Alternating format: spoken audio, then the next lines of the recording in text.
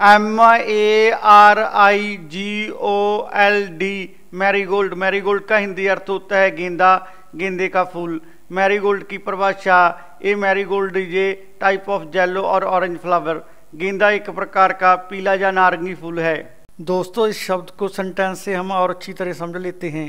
Number एक marigold is a yellow flower गेंदा एक पीला फूल है। नंबर दो there are several types of marigold गेंदा कई प्रकार का होता है। दोस्तों, ऐसी और वीडियो देखने के लिए आप हमारे चैनल को लाइक, शेयर और सब्सक्राइब ज़रूर करें।